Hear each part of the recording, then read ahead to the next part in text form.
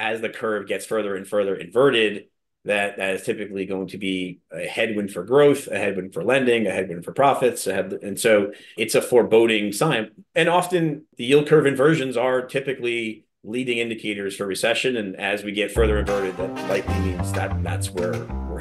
This short clip is presented by Edge. Edge is our pro to pro advisory service, which is all about the macro with a focus on one to one engagement with the hedge fund manager, Craig Shapiro, economics advisor, Geoffrey Fouvry, and direct access to LaDuc Trading founder, Samantha LaDuc.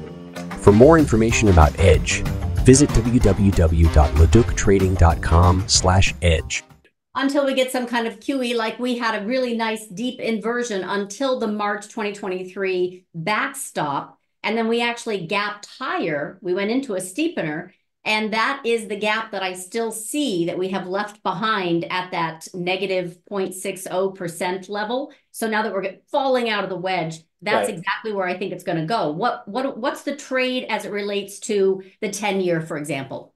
It, assuming we're going to we're going to more deeply invert let's say we're at 4.8 right now down to that 0.58 i think uh, the way that we would get there I don't look two year look two year yields are so I guess it would have I guess from here it would be a bear flattener because I think two year yields are going to go through five percent. Next week we get supply and then we get a good payrolls number and a good ISM number early June no reason for me to believe that. I, I think five, I think two year yields can probably get back to maybe get back to the highs.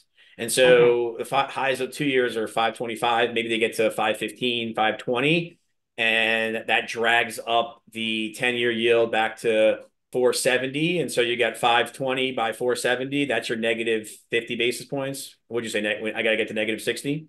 Yeah. So 515 on twos and 465 on, t- on tens because tens get where are tens now? Tens are 446. So that's 20 bips on I get 30 bips on twos and 20 bips on tens. That gets me to that negative 60.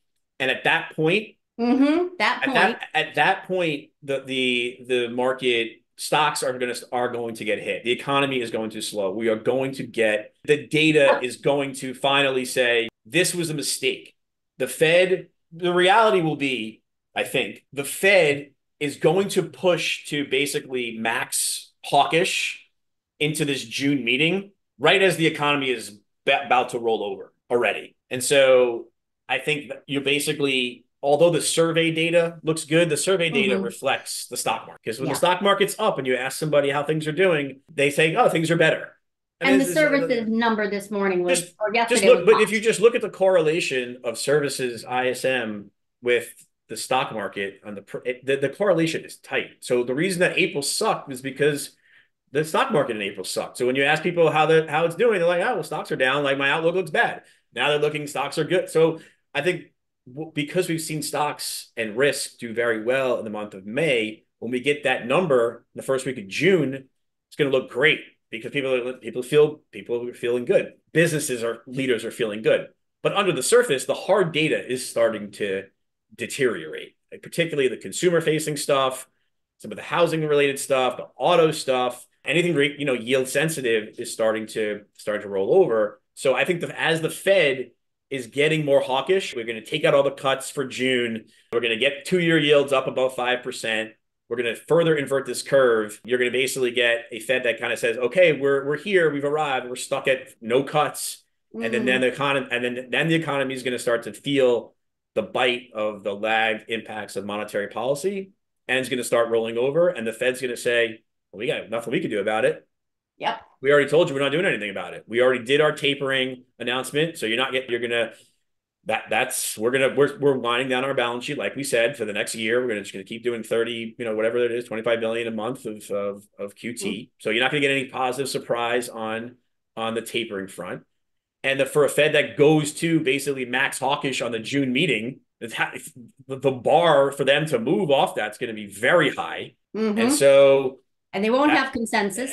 And, and so it's going to just like that seems like a very, very bad outcome. It's basically one of an economy that is finally being bitten by the long and, le- and variable lags of monetary policy is starting to roll over but not swiftly enough to bring inflation down to 2%, forces the Fed on hold for longer. and yields are high. Two-year yields above five percent. No, you're not getting any any benefit, you know, from yields moving lower. So PE multiples don't expand, and then you start to get earnings growth headwinds from these higher rates. That seems like a bad setup for risk. Yeah, and the sell in May and go away moment. So well, I'm not I'm not so convinced yet, even though it is May and even though we hit my 5340 SPX, because I have to I, I definitely this week, oh my God, that was dramatic. We hit it after NVIDIA, the print hit on Thursday, and then immediately turned tail intraday and had some very big volatility, very similar to April 4th when we had that negative 2.7% drawdown from peak to trough intraday.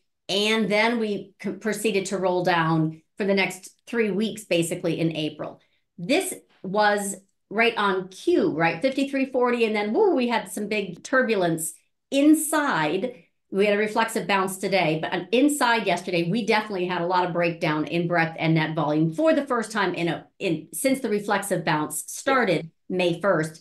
What I wanted to highlight was that I don't know if we're going to get and stay above 5340, but if we do, it is very bullish. If, however, we chop lower into this June 12th FOMC, June 21st options expiration, June 30th QRA, that would be logical. But the market has not given me, anyway, some really, really strong signs that it's ready to stop, hold, and trend reverse, it is telling me that it's absolutely having a really hard time moving higher right now. That was that violence that I saw intraday yesterday at 5340 was literally a Nvidia buy the news, no, buy the rumor, sell the news event for the rest of the market. Nvidia actually didn't sell off. It continued to hold really well. So the rest of the market's not so sure. The full episode is available to Edge paid members. For more information, visit laductrading.com slash edge.